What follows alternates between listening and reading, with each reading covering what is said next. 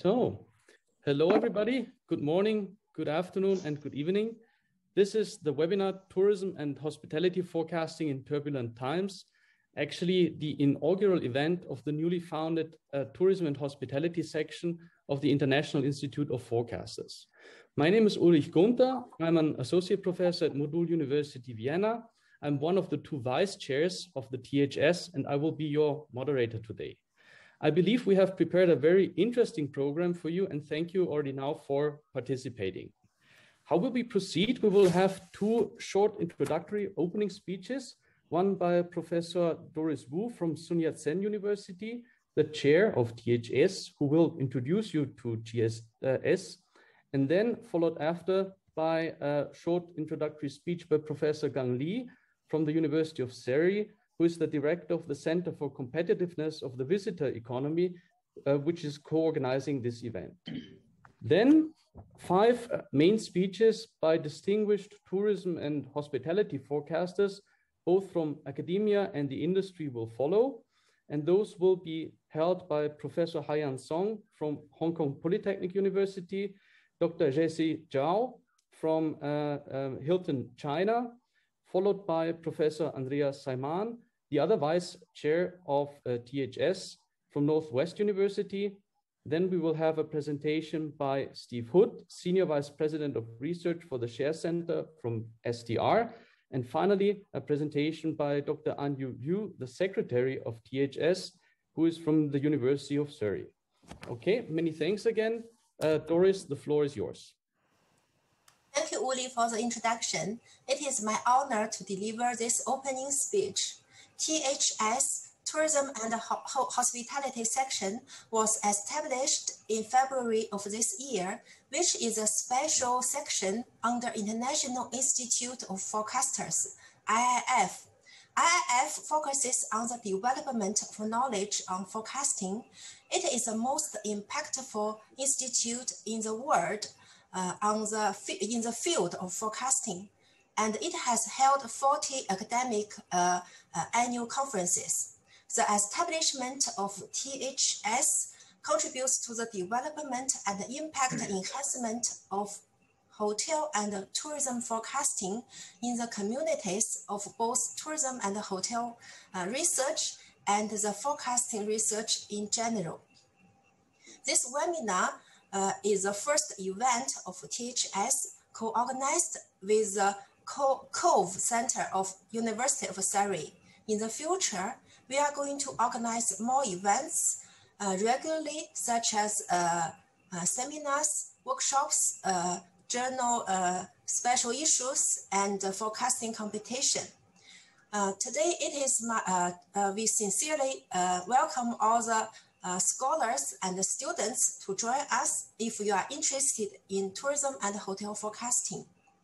At the end, I would like to take this opportunity to express my sincere appreciation to the five distinguished speakers today for your kind support.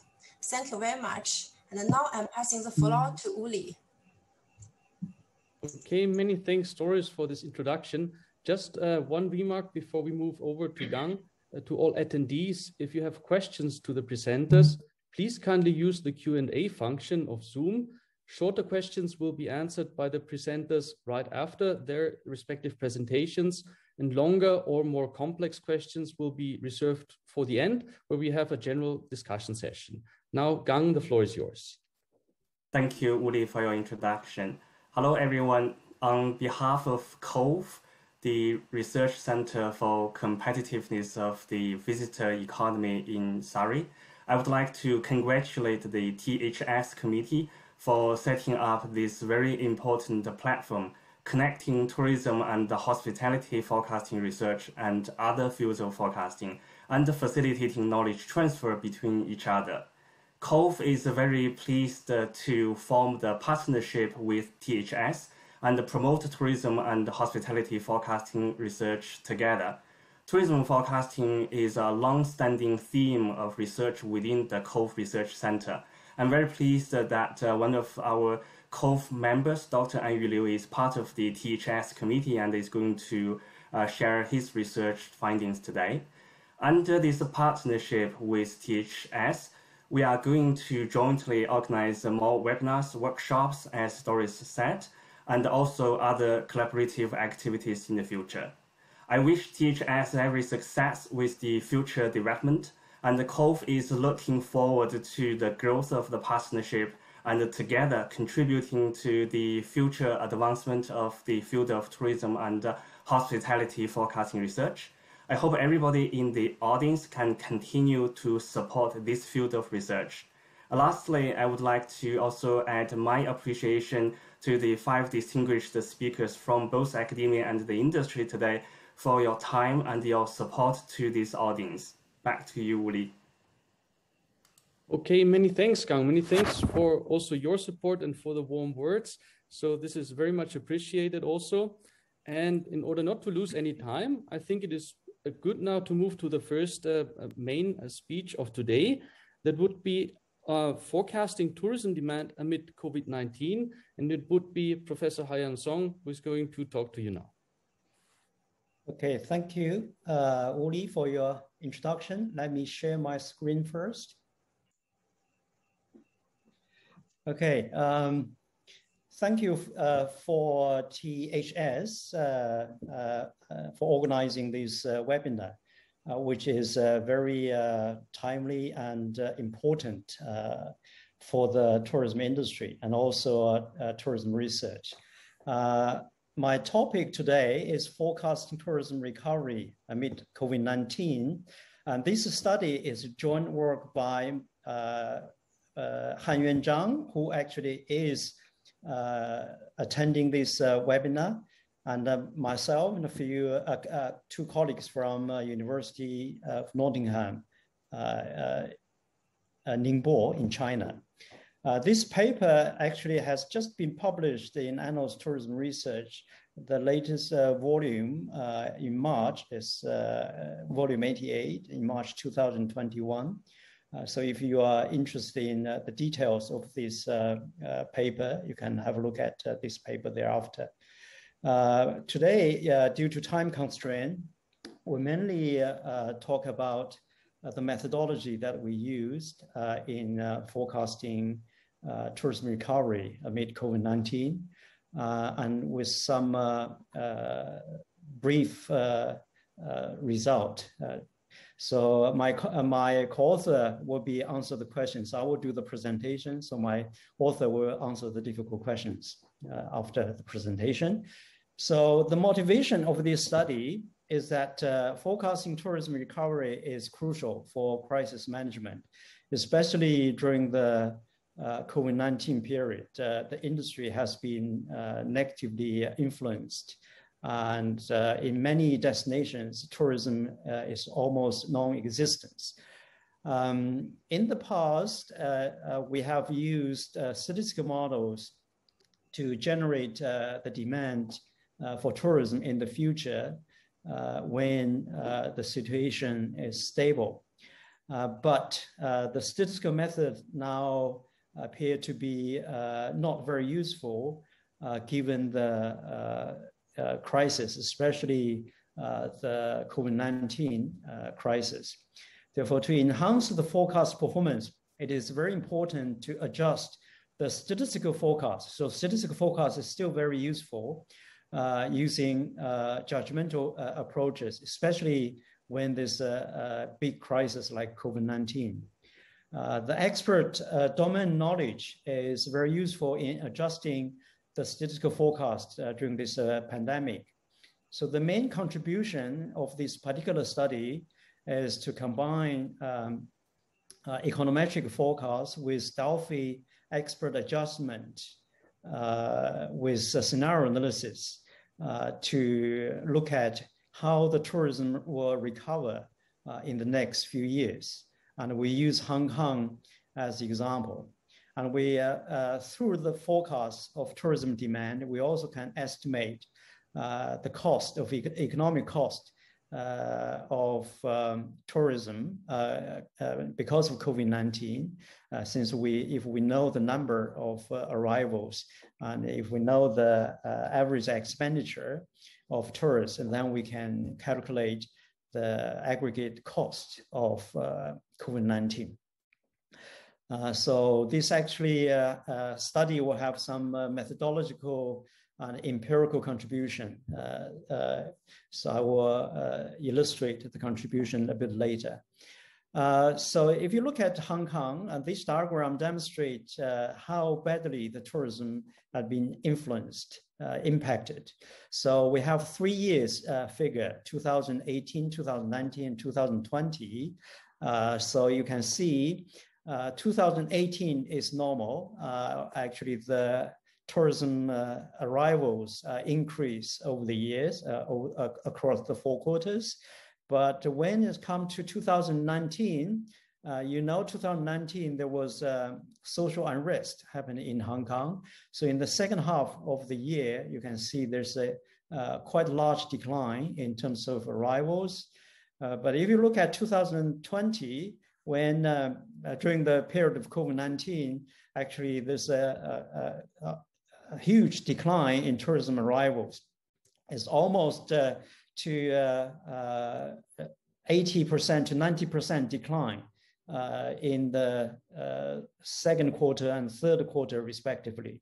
So that's uh, the reason why the industry is very anxious when uh, the tourism will return tourists will return when the demand will recover. So this is the the background of this forecast. Uh, the methodology we are using is known as a scenario-based Delphi adjustment approach. So the this approach can be divided into three stages. So the first stage, basically, we're using historical data to estimate uh, the econometric models are taking into consideration of the influencing factors, uh, standard uh, demand uh, uh, model. and then the, the econometric model is known as autoregressive distributed lag error correction models. And we do a lot, all the test of the models to make sure that the models are correctly specified and perform well. And the second stage is to uh, after the estimation estimates of the model, so then we uh, generate the baseline forecast. But be before we generate baseline forecast, we need to forecast the explanatory variables. And the explanatory variables was forecast using uh, seasonal exponential smoothing. So that's uh, uh, the approach that has been used by other uh, scholars as well. And then we generate the baseline forecasting using the data actually up to 2019, end of 2019, uh, to generate forecast for 2020 and 2021, 2023. Uh, uh, so, but uh, these forecasts are actually uh, uh, based on the econometric model, assuming there's no impact of a major crisis. But since the major crisis occurred, so the baseline forecast will not be uh, relevant. So we have to make adjustment uh, to the baseline forecast uh, using judgmental approach. So these are the uh, three stages. In terms of model, actually, uh, this, uh, this slide shows the econometric model or ARDL ECM model, which basically consider all the influencing factors in both growth and level forms.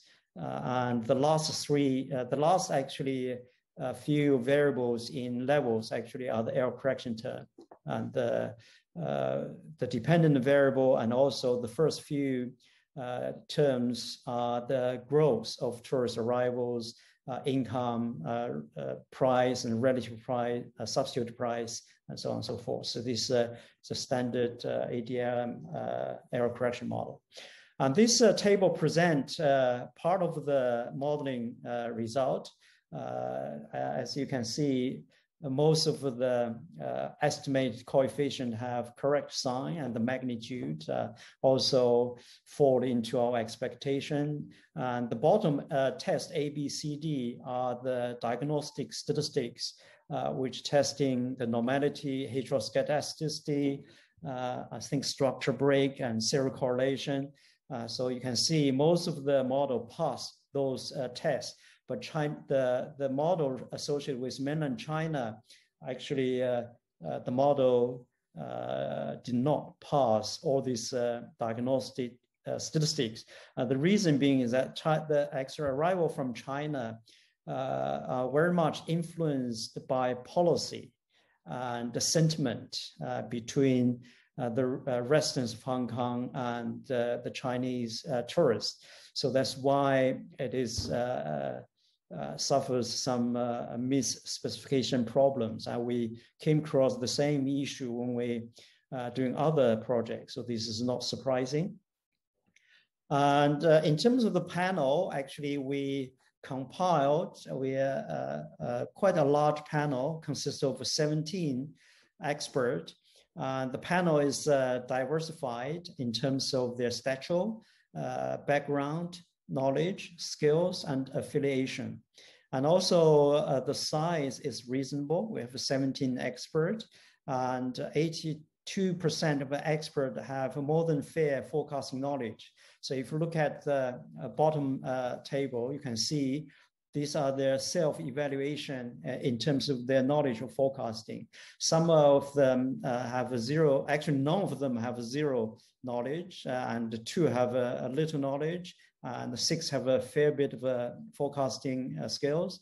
Uh, six has good skill, and three have a, a very excellent forecasting knowledge. And the first table, the table on the top, uh, those uh, experts uh, from both academics and the industry. And all the industry experts are, most of them at corporate level. There's only one at the department, department level, but that is in the corp, corporate uh, department, which uh, is also significant position, uh, have a good understanding of tourism industry in Hong Kong. So these are the panel. And uh, this questionnaire survey, actually, the Delphi survey was carried out uh, in June and July uh, to last year. So it's the, in the middle of uh, uh, the pandemic. And also the first round, we only ask uh, two questions. The first question is, do you agree that tourist arrival from each source market would reach to the bottom in 2020 quarter two? And basically, this is just ask them to confirm uh, that the tourism arrival has reached the bottom. But if they don't agree, they can suggest uh, in which quarter the bottom will be uh, reached in terms of arrivals. The second question is when uh, the number of arrivals from uh, origin will return to the baseline forecast. So they will, uh, the expert will suggest when it will return to the baseline forecast. Actually, the expert will present it with the baseline forecast uh, at, at, uh, in the first part of the questionnaire. And also the second round survey, we uh, only ask one question after the the questionnaire completed in the first round and compiled, aggregated, and then we uh, present uh, the panel with the adjusted forecast. Uh, so we ask uh, expert in the second uh, round to select the appropriate percentage increase or decrease of adjusted forecast if they think it is uh, too low or too high. So in the second round, basically, there's only one uh, question asked uh, uh, for the expert to adjust their forecast again. But remember, we have 16 source market arrival to Hong Kong, and each source market, we had three scenarios uh, so there's a lot of uh, information. If you ask too many questions, uh, the uh, expert will not be able to cope uh, with all this information. Uh, so the uh, after second round uh, survey, actually the response actually will convert based on statistic some statistics. So we stopped after second round, and this actually is shows uh, the forecast result. Um, you can see the, uh, the actual uh, data in blue and then the adjusted forecast and also baseline forecast presented in color at the end of these curves. Uh, these are the adjustment. As you can see, uh, the difference between the three scenarios uh, actually is not that great. It's quite close. Later, I will talk about why this is the case. From this result, we can see uh, the uh, we can uh, uh, the source market would divide it into three groups. Uh, the color change actually highlighted the speed of recovery, and also you can Professor see from Song, sorry to interrupt. Just you have one to two more minutes. Okay. and then um, uh, the three groups you can see the first group with a, a light color it's a fast recovery and then uh, followed by uh, some uh, source market from Asia, and then uh, the last group actually most are long short sorry long haul market they recover relatively slow, especially United States. Okay, we also calculate the to total tourism income losses due to this uh, uh, you know decline uh, of arrivals due to time uh, constraint. I'm not going to uh, explain it for, uh, any further. So the limitation of this study actually um, uh, mainly coming from the reason why the scenarios are not that uh, not wide enough is perhaps uh, because the following limitations.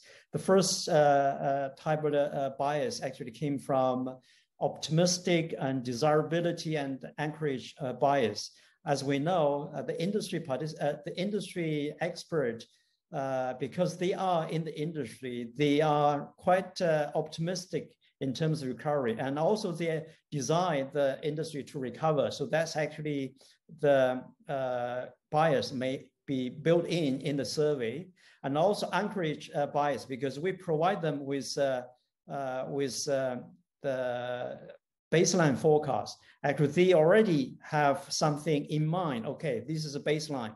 Now, how far it should be, uh, should I adjust from the baseline? This actually is another bias. Uh, uh, we call it uh, anchorage bias. Another bias is boundary rationality because there's so much information presented to the expert given the number of source market we're trying to forecast. There's a lot, lot of information. They have to digest the introductory information present to them. So uh, in, in that sense, they do not have uh, enough capacity to observe all this information. Therefore, uh, bias uh, may be uh, uh, you know, introduced in the forecasting process. I think that's what I have to say, and I will leave the time for Q&A. Thank you. Okay, many thanks, Professor Song, for that very insightful presentation, also very important presentation. And I think all questions that have appeared so far in the Q&A box have been already answered by Han Yuan.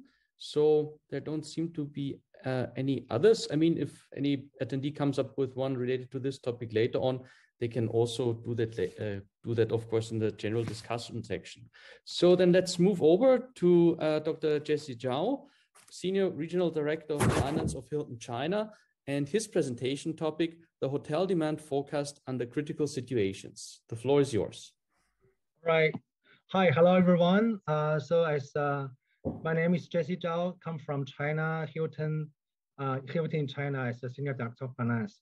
So today my topic is uh, hotel demand focus under critical situation, mainly focus on how hotel is making focus during pandemic. And there will be some really practical examples, not like uh, Professor Song's uh, uh, very academic. I will take a little bit of time talk about uh, hotel focus in a normal circumstance, and then we could have a basic comparison. so hotel focus is based on a realistic and developed day by day for the revenue and the EBITDA generation. It which the rate and how many rooms can you sold can you sell uh, for every uh, future day. It will be developed by market segment and then uh, widened with a, a monthly forecast, quarterly, yearly, and so on. Uh, so uh, the hotel forecasting and the budgeting demand is the basic demand elements are right part of last year and the group of event last year, uh, demand level indicator uh, last year like uh, uh, high, medium, low uh, uh, district uh, period, and demand level indicator of this year, and the consideration of public holidays, school holidays, except, exceptional demand indicators, such as big events, city events, and national events. Right. Uh, why this is important? Because it will help to predict, uh, predict uh, consumer demand and challenges the resources in importance of gathering information. And it also can help to stimulate demand in a uh, slower period.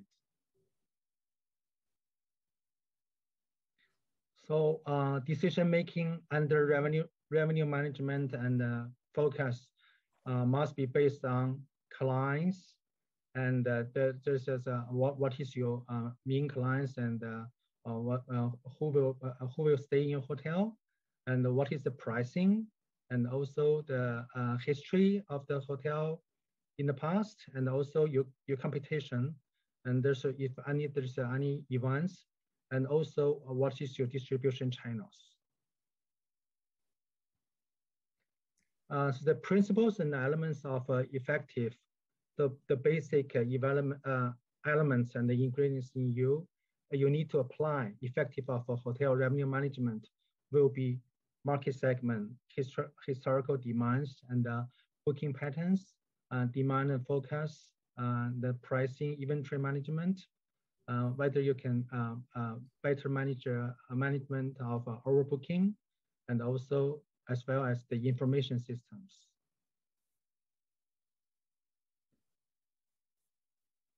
Uh, talk about the market segments. So the market segment helps in identifying the trend of your business.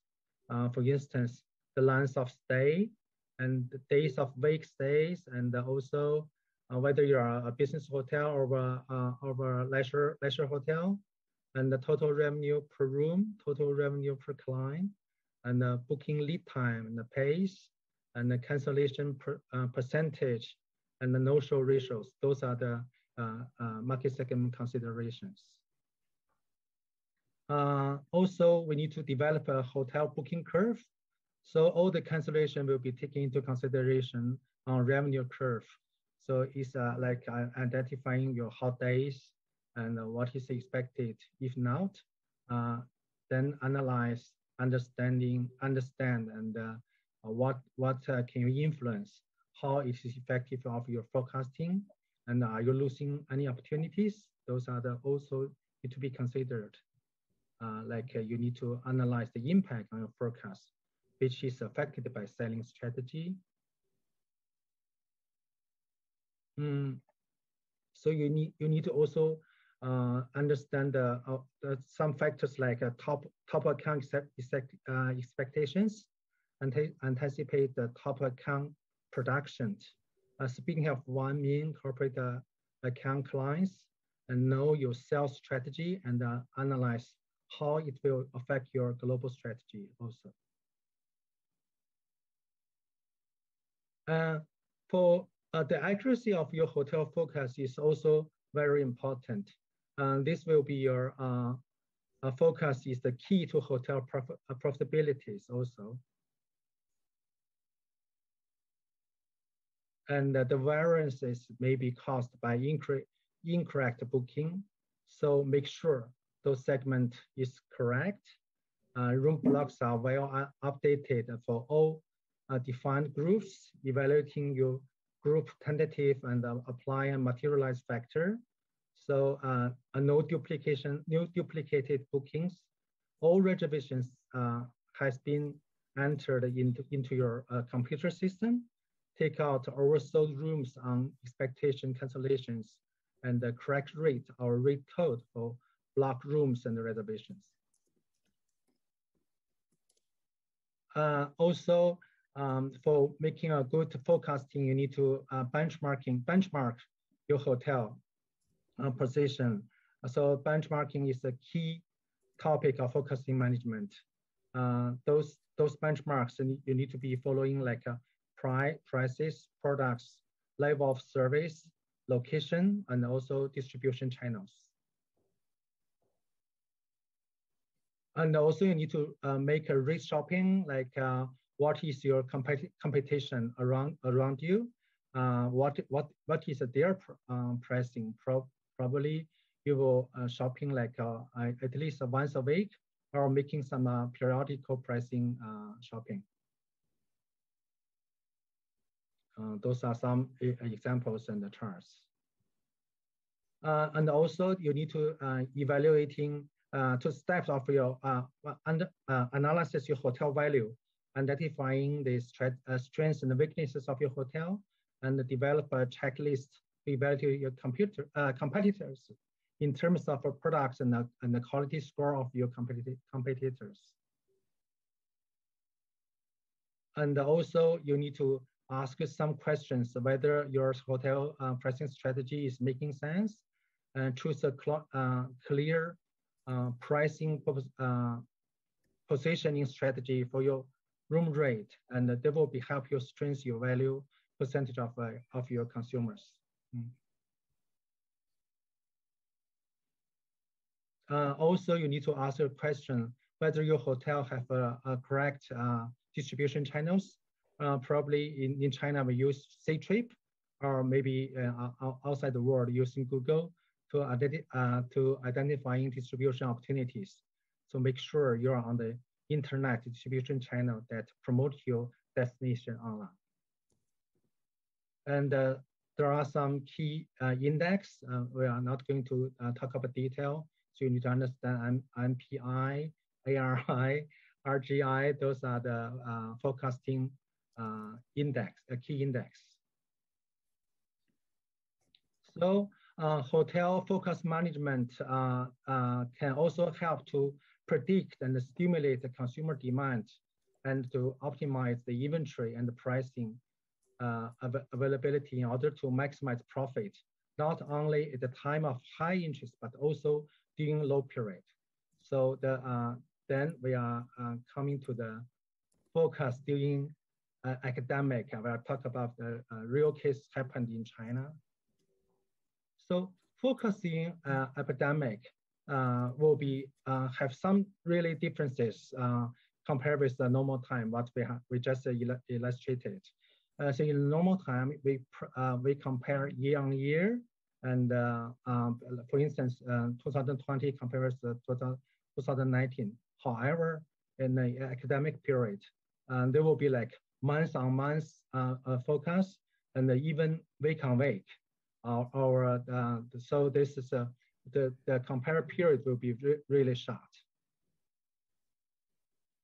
And uh, the concern uh, probably will uh, focusing on occupancy because uh, the opportunities is uh, not as normal as normal time, but uh, will be like a penetra penetration. We, we need to get uh, the business in. So focus on occupancy uh, instead of ADR, uh, but to, to build up the cash flow, you, you need to have a, a correct cash in to the hotel.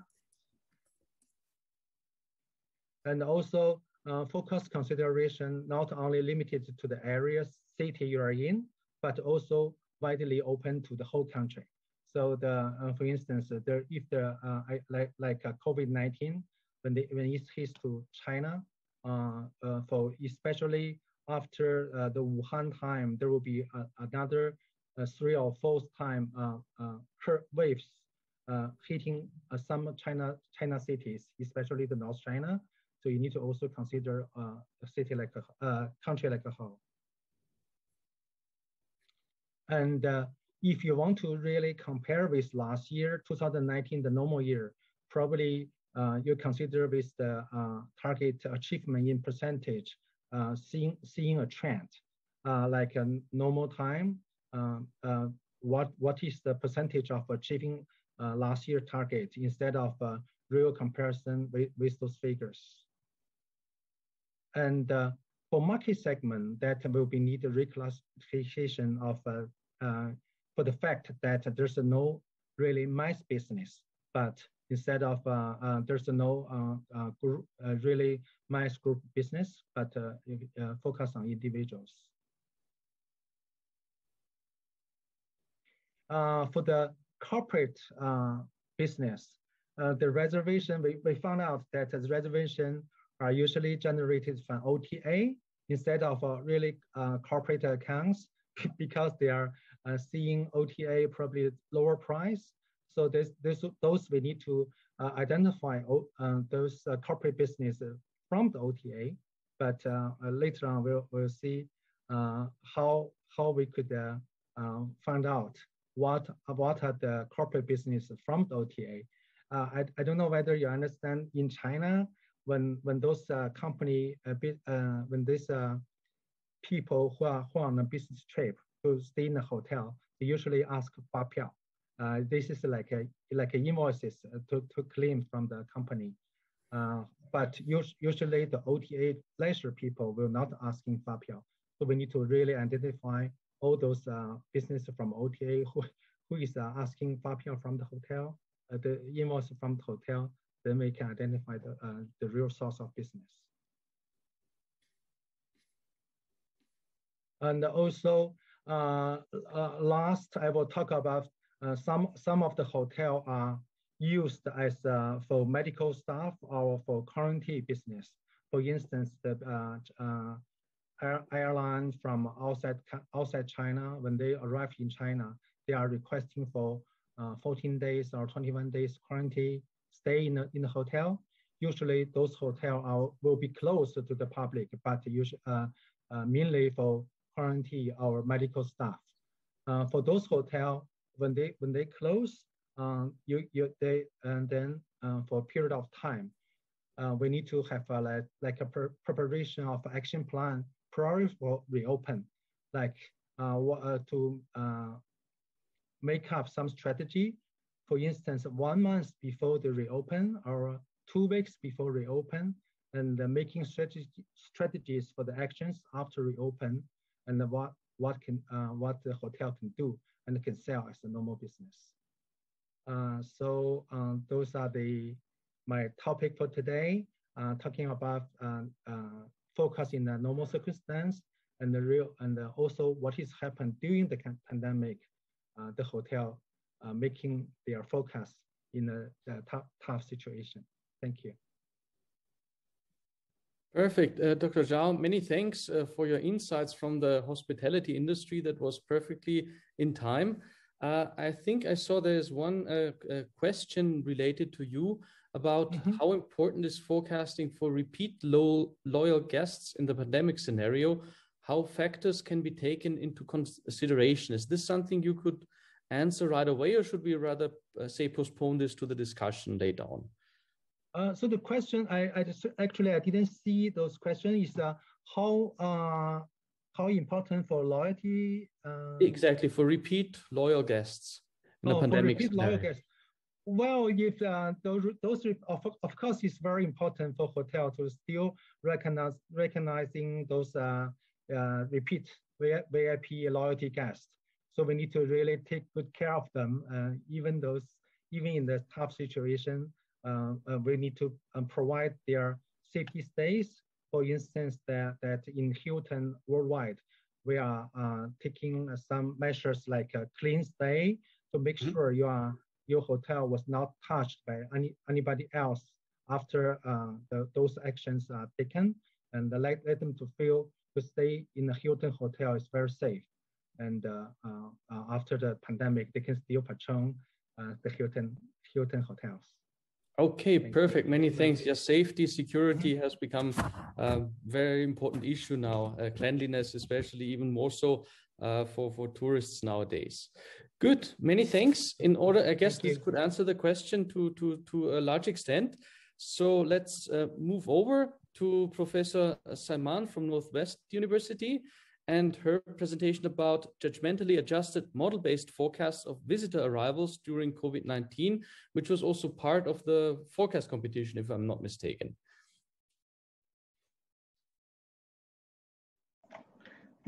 Thank you, Ulrich. Let me just share my screen here for everybody to see. So yes, um, my paper or my talk today is about judgmentally adjusted model-based forecasts um, during COVID-19. And my presentation is heavily based on a paper that I did with some of my colleagues, uh, Nicolas Kourentzes, um, Philippe Jean-Pierre, David Provenzano, Wander Sahli, uh, Seetaram, and uh, Serena Volo. And also you can read this paper in Annals of Tourism Research. So to start off, just the layout of my presentation today. Firstly, I'm just going to set the scene to say what, what's been happening with COVID-19 and tourism. And then I'm going to talk a bit more about why using judgment in tourism forecasting and why do, don't we always use judgment? And specifically then focusing the, the third part on, on tourism, how it has been incorporated in previously in tourism forecasting. And then I'm going to focus on the case study of what we did and how we incorporated um, judgment into our model-based forecast.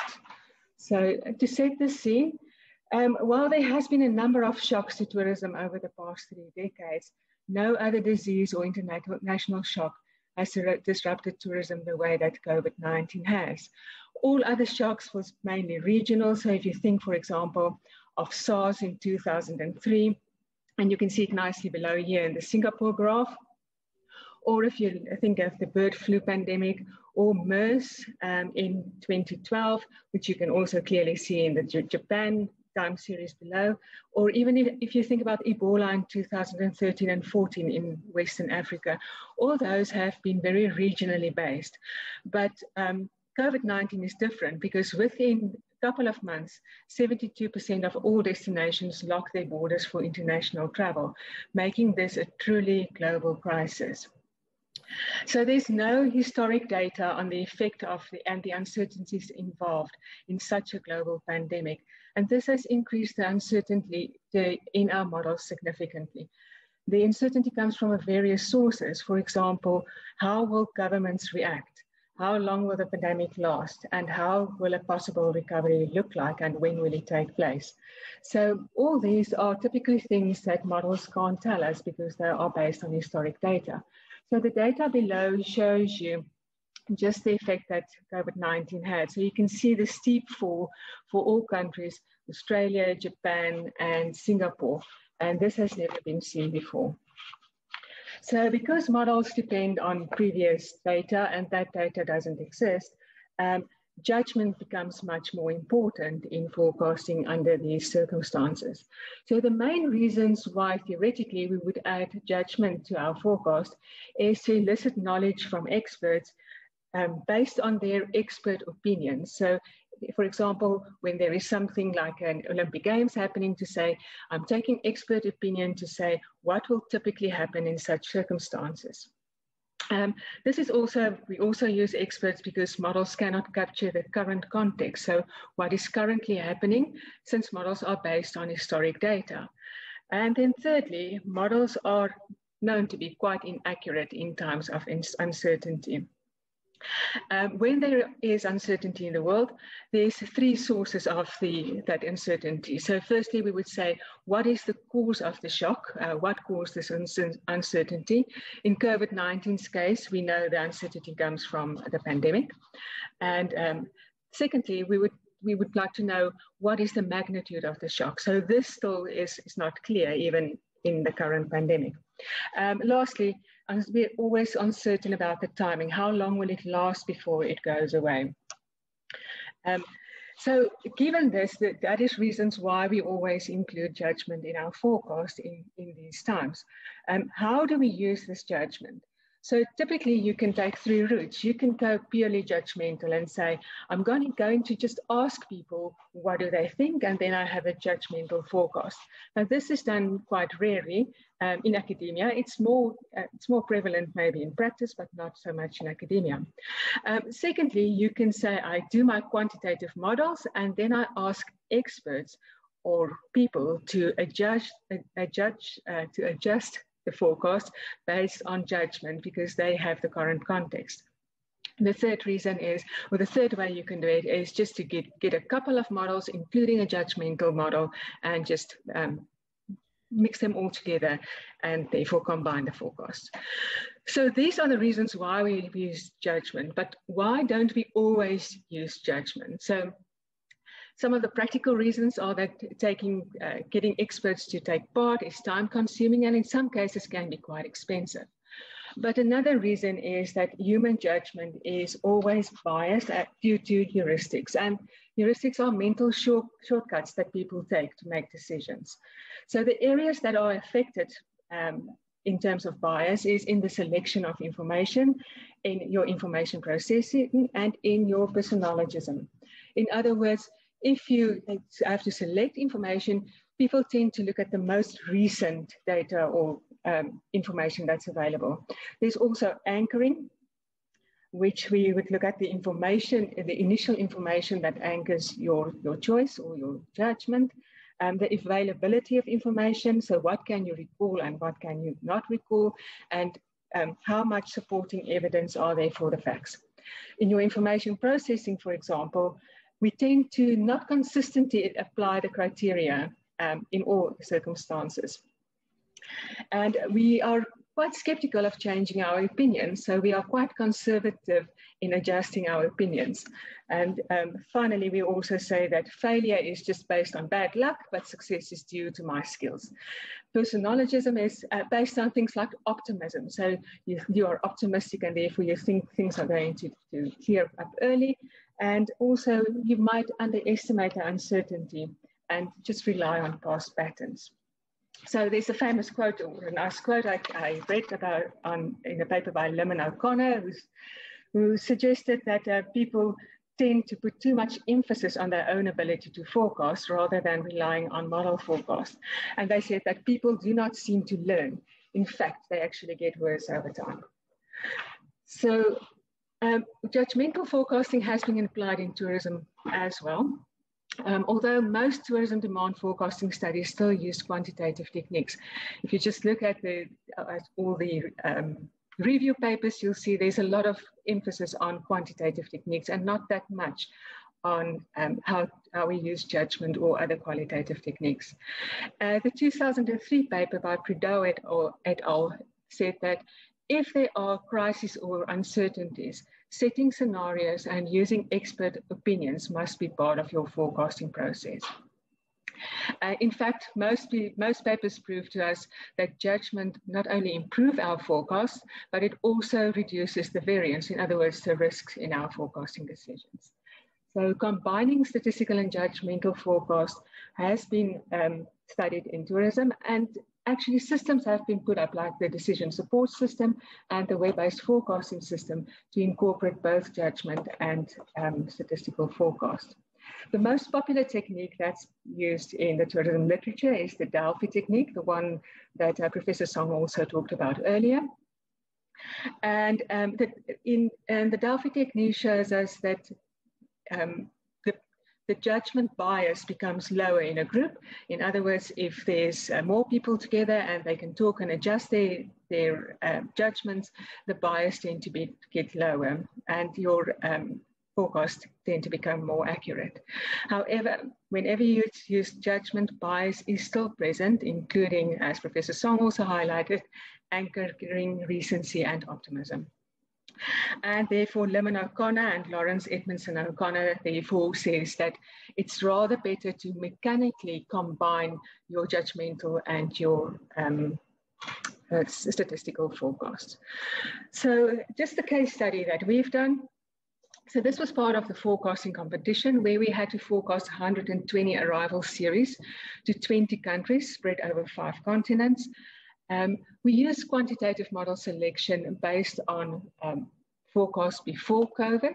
And then we extrapolated that obviously for the COVID period, 2020 Q1 to 2021 Q4. So it's quarterly forecasts, and that model then became the baseline scenario.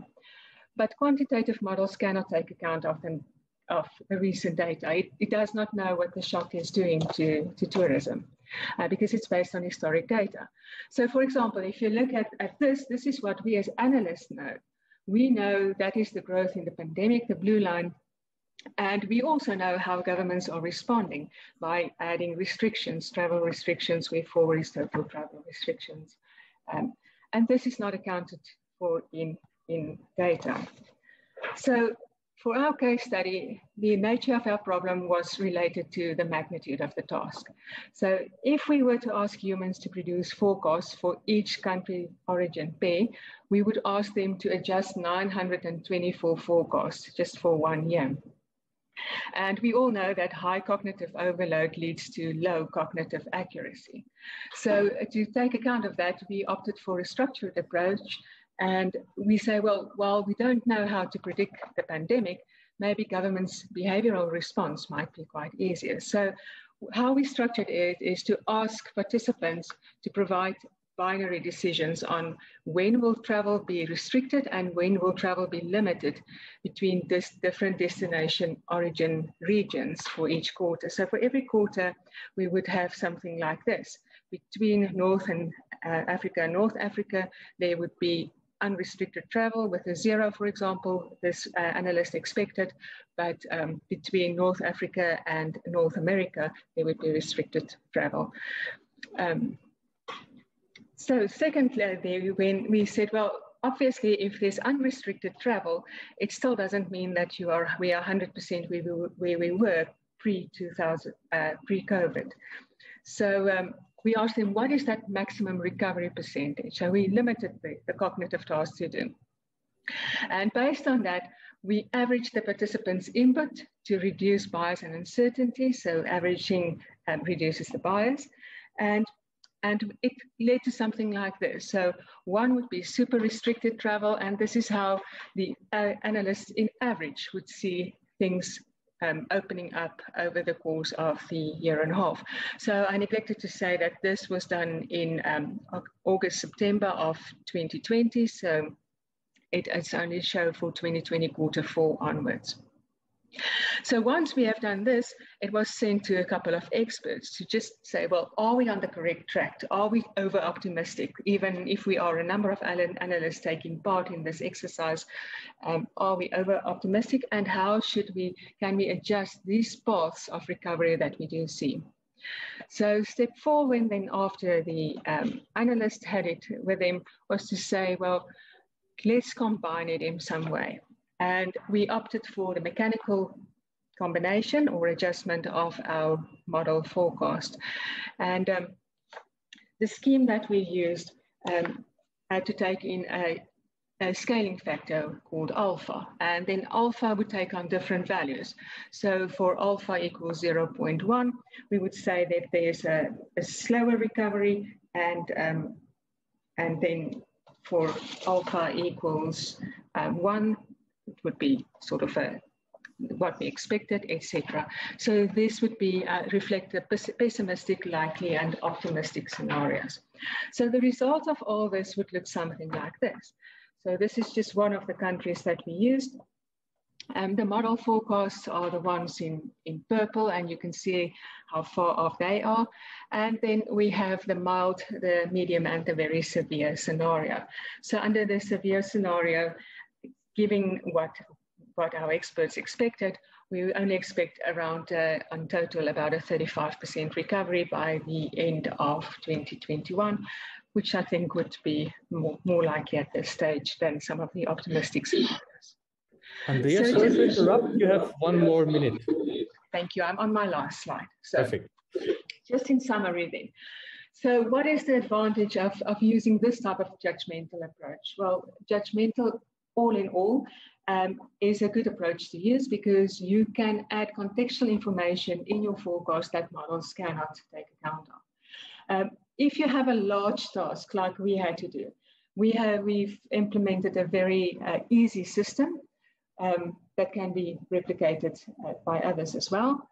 Uh, using such a system mitigates the judgmental bias because we don't ask people to adjust series, we just ask them their view on travel restrictions. So this is limited cognitive load for, for people to, to take account of. Uh, also, we did not anal uh, analyze talking to one another, so we limited anchoring um, in that sense and everyone can choose their own type of, of bias. And um, by averaging it, we are we are getting rid of some of the bias. So we also don't ask for an exact value, just on a view. And this is a very scalable approach. In other words, more participants will lead to less bias. The disadvantage is then again the questions of experts. So we collected responses and averaged it and then asked for expert opinions. But um, so we have used experts in two ways. Um, the second disadvantage is the sensitivity of the number of participants and the weighting of the scenarios that we used. It's not clear how good that are, how, good that will pan out for us in this competition. And then lastly, um, because we only didn't, uh, we didn't ask them to motivate why they choose anything, we don't know whether some of the analysts was overconfident and what type of biases was present in their um, decisions. So, um, thank you for your attention. This is all from my side. Perfect. Uh, many thanks for that very intriguing uh, presentation, Andrea.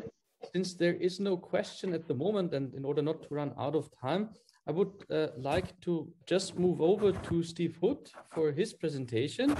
And this will be about diverse recovery of the hotel in the global hotel industry even. The floor is yours, Steve.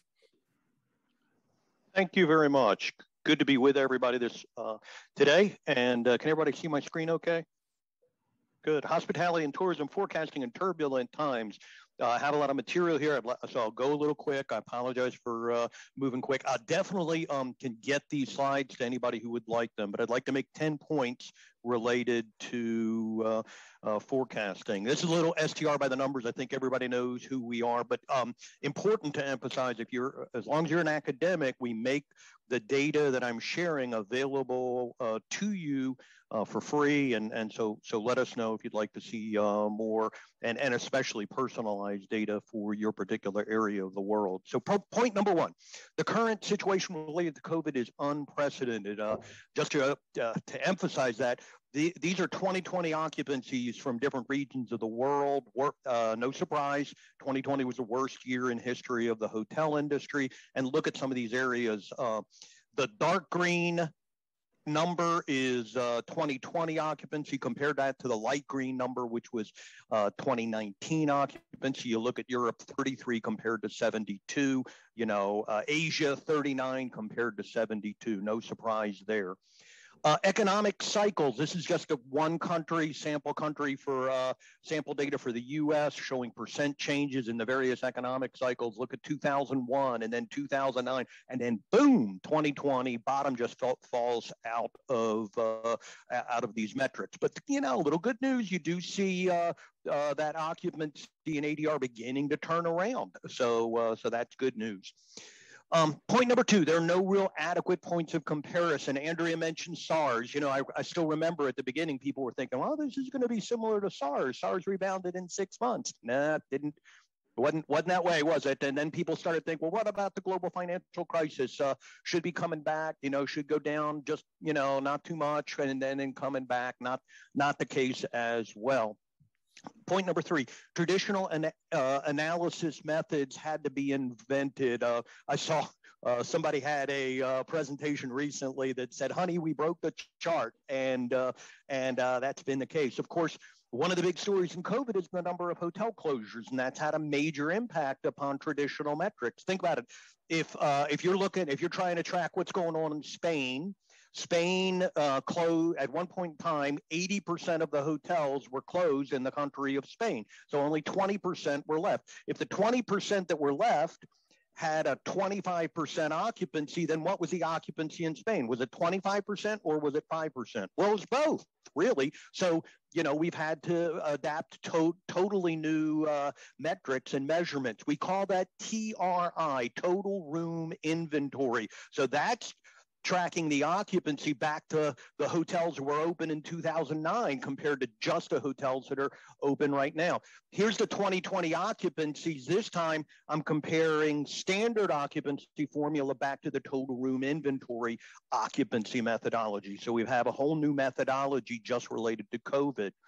Uh, look at RevPAR percent changes. Again, total year RevPAR percent changes for regions of the world. And look at some of these negative numbers. I mean, Europe, uh, negative 62, but the total room inventory uh, uh, RevPAR percent change is negative 72. And, and, and look at some of these differences. You know, when the percent changes become so big, yeah, it's really sort of hard to interpret that. You know, look at, again, another country, US, where uh, RevPAR percent change at the worst month went down to negative 80%. Now it's back to you know, positive 34%. Now I've seen, you know, that's for a whole country. When you're looking at RevPAR percent changes for specific cities, I, you know, I saw a RevPAR percent change of 250% recently. But that, you know, think of it, if your occupancy drops to, you know, 20% and then, you know, jumps, uh, you're going to have weird numbers like that. So what have we had to do?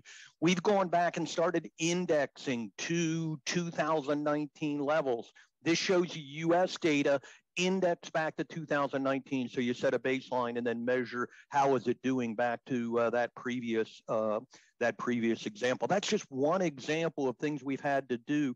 Um, other examples I list on the bottom there, uh, and and uh, Jesse mentioned that this week versus last week has become real popular. Are we going up or are we going down? All the new correlations we're doing, we're correlating data to things we never even dreamed of before. Quarantine business, when hotels in Singapore are 80% full, but it's all quarantine business. Is that really occupancy or, or not? How do you how do you judge that?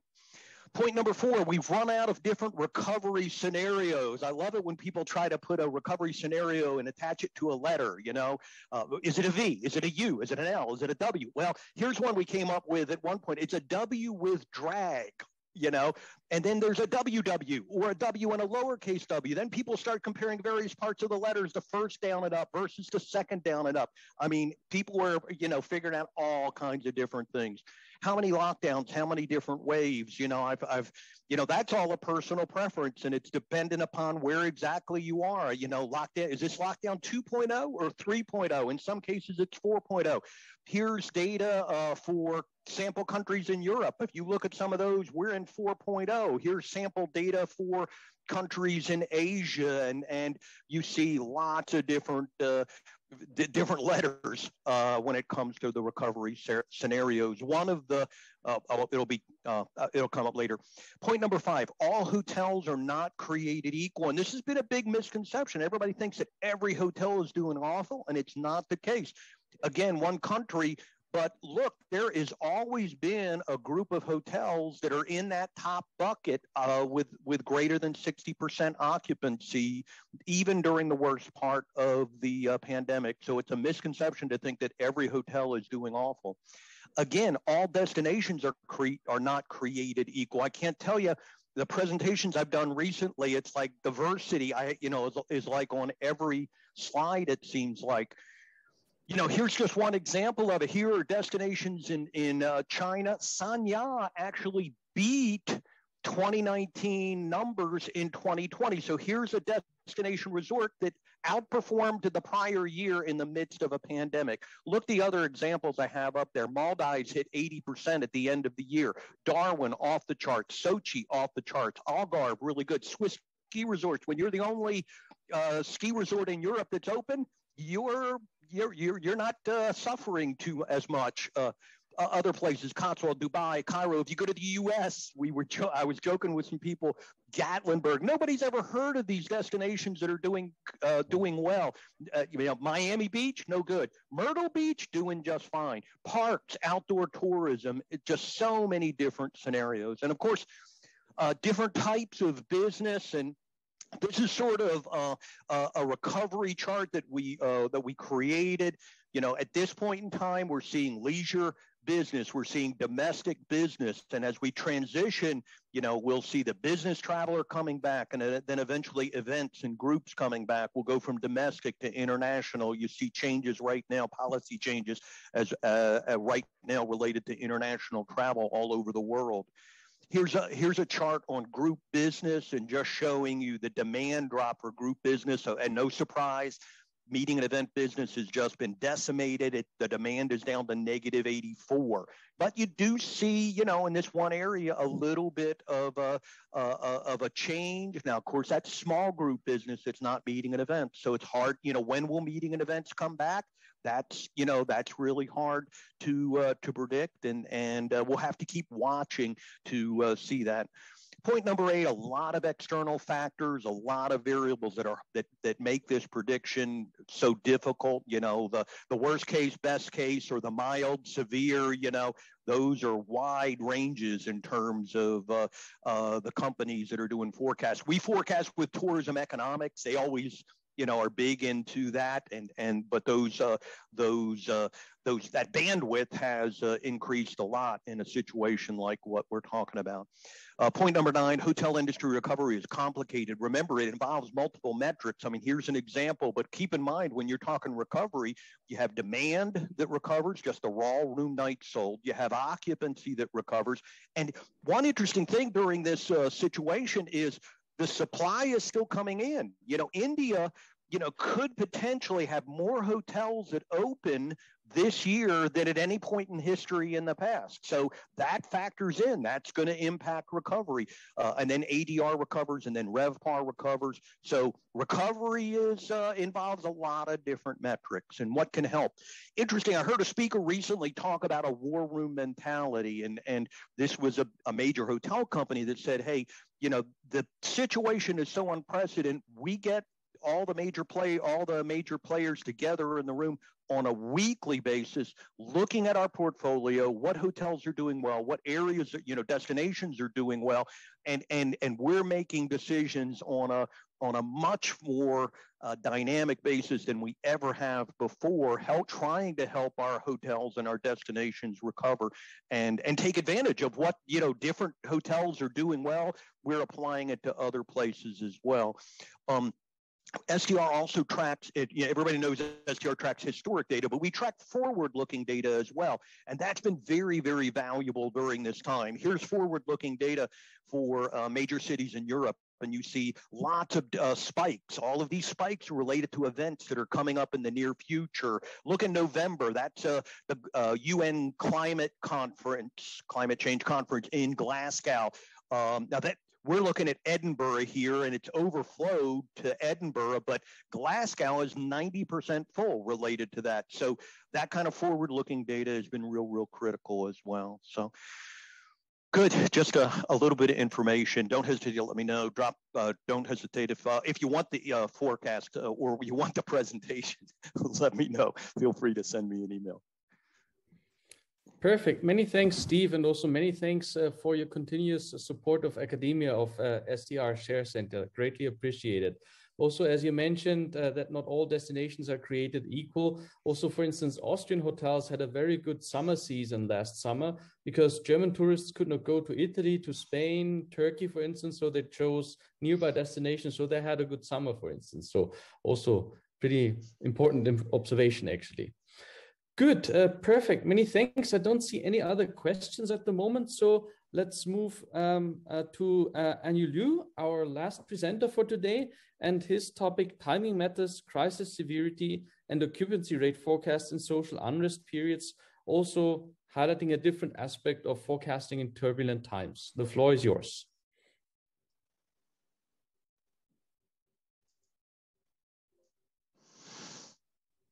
Thank you, Uli. So I'm Liu from University of Surrey. So let's move our eyes from the pandemic to another another turbulent period, which is in Hong Kong in 2019. So this is a paper I co-authored uh, co with uh, Dr. Richard Qiu and uh, Dr. Jason Stienmetz and also Ms. Yang Yu. So and this has just been accepted by the International Journal of Contemporary Research, uh, Hospitality Research, sorry. So, oops.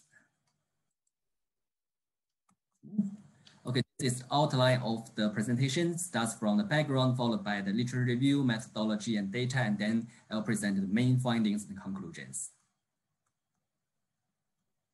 So we know what happened in Hong Kong in 2019 in the second, second half of, of that year, the social unrest. And if we look at the occupancy rate of Hong Kong from 2018 to 19, we can see a big drop in 2019 particularly the second half of the year. At that time, I remember people in Hong Kong, the industry said that, oh, the winter comes. But then after, when we were in 2020, people realized how to define a winter because in, in 2020, we have the pandemic. So the question is that uh, we know from the literature or from our own experience, when we have risk, when we perceive risk in the destination, so we will either cancel our trip or we would like to postpone our trip. And the, quest, the question is how to produce uh, how to produce the forecast for the industry when they are in the in a turbulent period. We say in that time, in that period, the traditional forecasting methods may not work because it, we, we do have very good track record in terms of forecasting using the low frequency data, for example, quarterly data, monthly data. But think about the the demonstration in Hong Kong only lasts for six, was we say six months. If we if we use quarterly data, the data may be less than two observation points. But if we use monthly data, maybe only six points. The data is not long enough to generate uh, uh, to generate a satisfied forecast, accurate forecast. So in this case, the daily data and the social media data come always a big data. Because if we, we talk about the demonstration in Hong Kong, six months, which means if we use daily data, it's about 180 observations. And if we talk about social media, the, we talk about big data, the, the sample size will be much larger. So in this study, we would like to use the social media data coverage as a proxy of the severity of the demonstration. We know that when people perceived or they can they predict the severity of the demo demonstration, then they can further adjust their schedule, their uh, trip in the future. And the research question of this study is that if the introduction of social media, media data can improve the forecasting accuracy during a crisis. So we would like to use three traditional time series models, including SARIMA, ETS, STL, and their combination. I remember there is a question in the Q&A box that asks, what is the mathematical model to do the forecast during the crisis, or say during the turbulent periods? Well, you can, you can see from the previous presenters presentation, there is no model can work well in all the situations. So in that case, we need to select the model very carefully, particularly in the crisis period. We also introduced the social media to these three time series models. So we can we, we also have another four interventional model, which are SRA called SARIMAX, ETSX, STLX, and their combination. And in terms of the data, so thank you, Steve, again, to sharing the data from STR to this study. We got the data from STR for the 2019 daily Hong Kong occupancy rate by different hotel classes. And we also collect the most popular hashtags related to the social unrest in Hong Kong from Twitter because, well, as because uh, we know that there are other types of social medias which can be used to, uh, to represent the severity of the crisis. But uh, for example, Facebook, which is not allowed us to use data, and for some data which are not uh, officially available from the Chinese social medias. So, so Twitter is the only, or we say the available data source for us. And let's look at the descriptive statistics. So this is the daily occupancy rate of, of Hong Kong hotels. And we can see in different segments, the bottom appeared in different months. For example, for the luxury and upper, upper, upper scale, probably the, the strongest impact happened in August, September. Again, here is September, September, September. And but from the demonstration perspective, this, I think we can, uh, if we look at uh, the, this, this should be from November. So there is some time difference, and we, we also need to consider this time difference, the delay in our modeling. So we will use the data of June to September, which is around 90 observations to forecast the occupancy in October. And we also choose another rolling window, which is July to October, and then forecast occupancy in November to make the forecasting results more robust.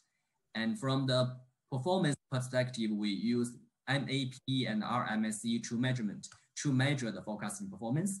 And for, we will forecast from one day ahead to 14 days ahead forecast, daily forecast.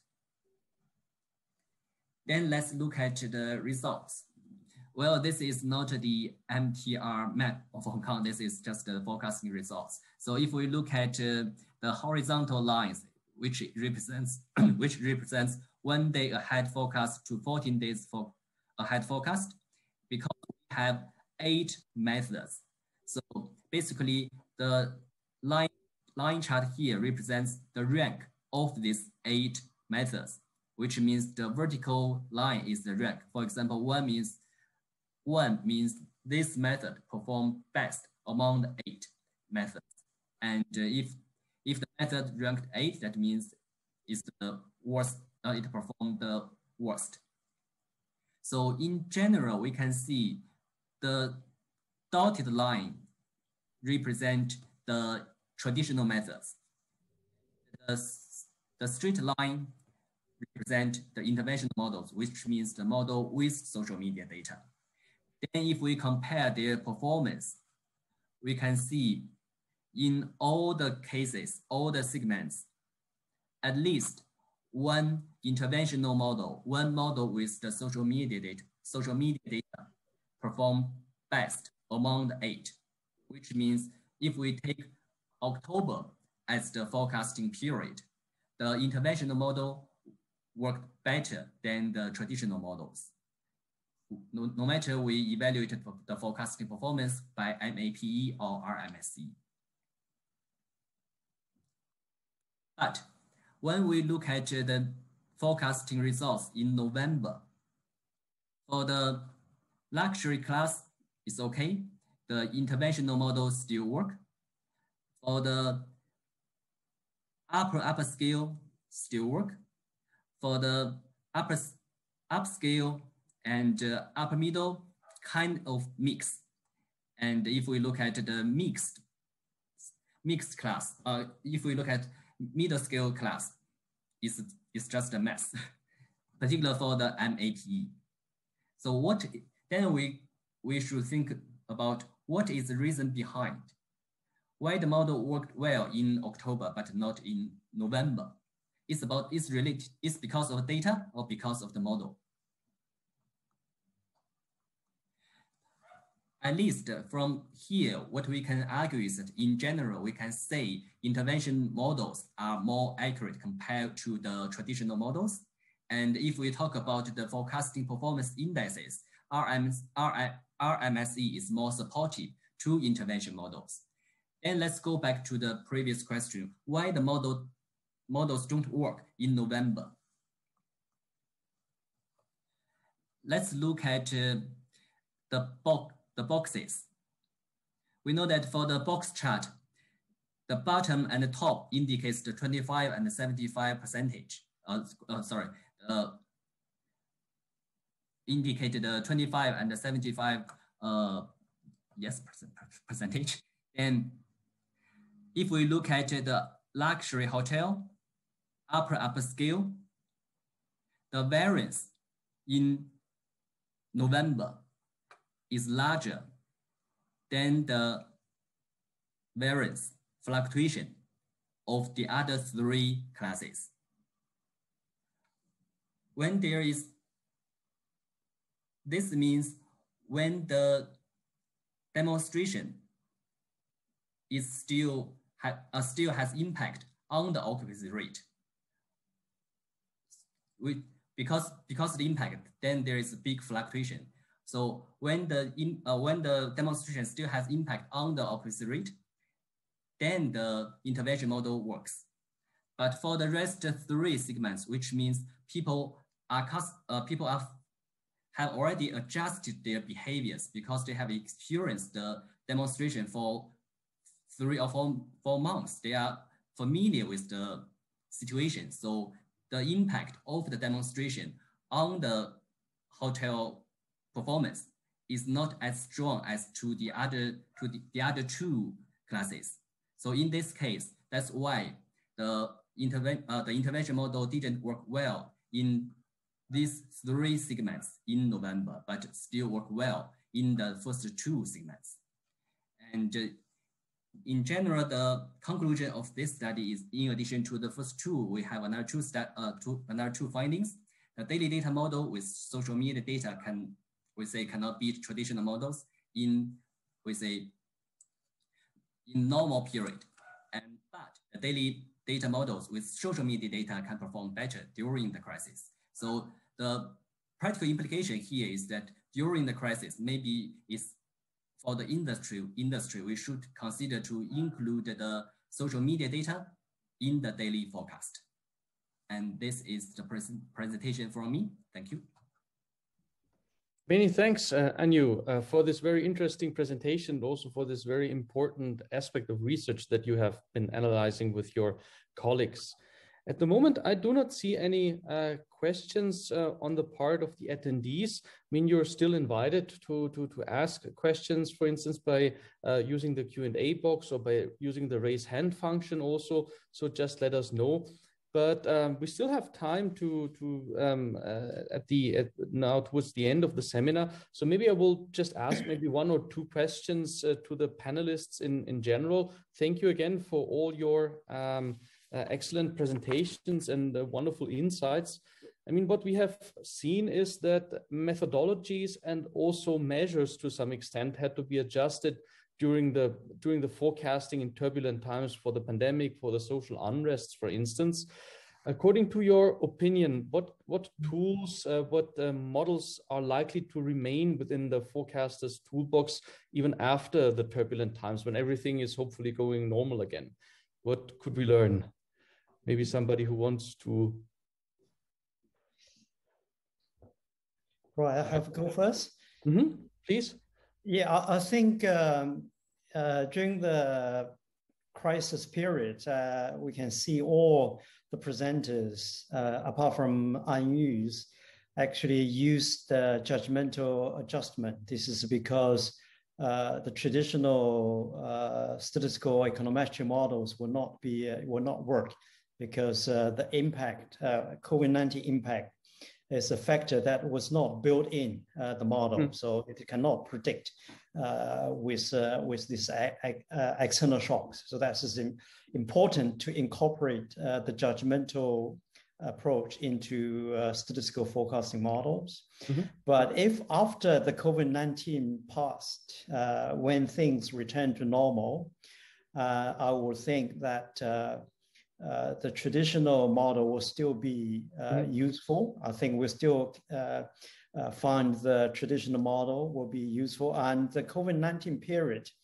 uh, will be the impact will be incorporated one way or another in the model, either by dummy variable approach or mm-hmm. maybe other intervention method.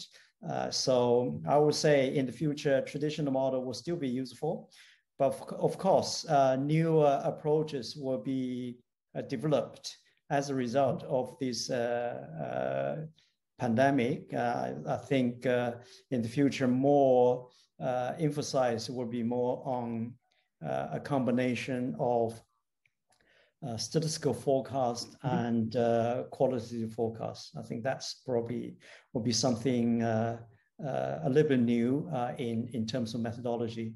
Uh, that mm-hmm. Uh, will be uh, relevant and useful in the future. Perfect. Uh, many thanks, uh, Professor Song, for these important insights. I'm just seeing that we have two raised hands from the attendees, uh, Yasmin Martin and SC Tushara. maybe your questions first. Ms. Martin, maybe you were first, as according to my list at least. Please go ahead. I think probably Gang have to mute unmute them. Could be, yes. Yes, I have just done that. uh, Jasmine. Hello. Yeah. Hello, hello. Yeah, please go ahead. No, I'm Mr. Gangli. Thank you very much first to all. Very interesting. Um, part my question was already responded in in the chat box, but mainly was if one is faced with a destination which is a new destination and has almost no history or there is no data available and was about to be positioned by the government just a bit before the pandemic, what would you recommend would be the right forecasting methodology? Because it's, I'm personally, I'm, I'm in South America. There's not much data on the Americas. It's usually only Brazil and Mexico, which is analyzed even by STR. Um, we're in a group based in Peru. So it would be interesting just having your feedback how would you go about the approach of analyzing something where the historical data is or flawed with lots of error or, or just does not yet exist?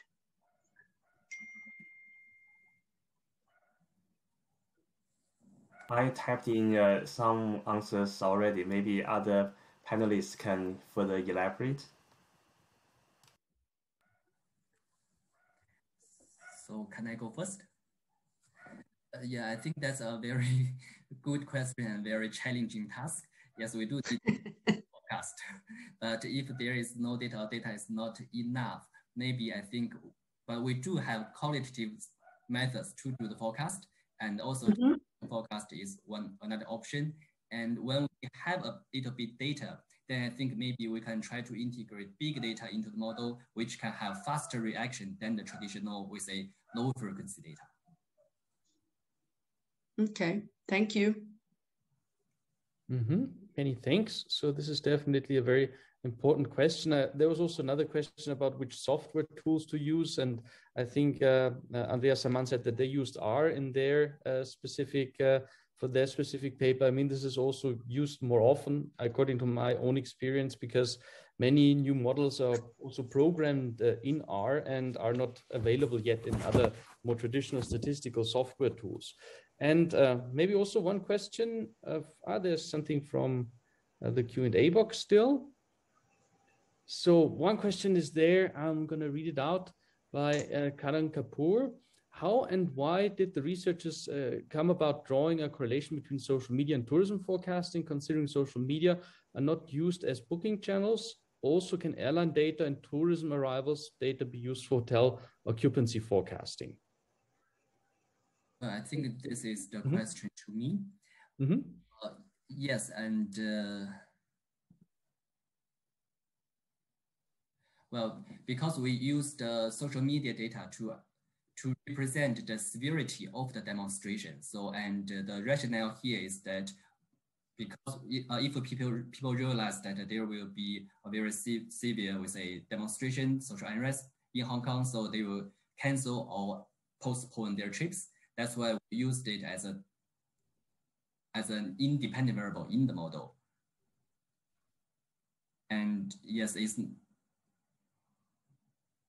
yes, social media data is not used in the booking channels, but I think this the severity of the social unrest could be, could influence the demand of the hotels. And uh, the other question is, air data and tourism arrival data can be used for hotel occupancy forecasting. I think they are correlated, but at least from my perspective, when we do when we establish develop the forecast, forecast, forecasting models, we need to start from the theoretical perspective. We would like to build on the, the model from the demand side. We don't really we don't use the with uh, the airline data to forecast the we can we can but at least from the economic perspective we would like to develop a model based on economic theories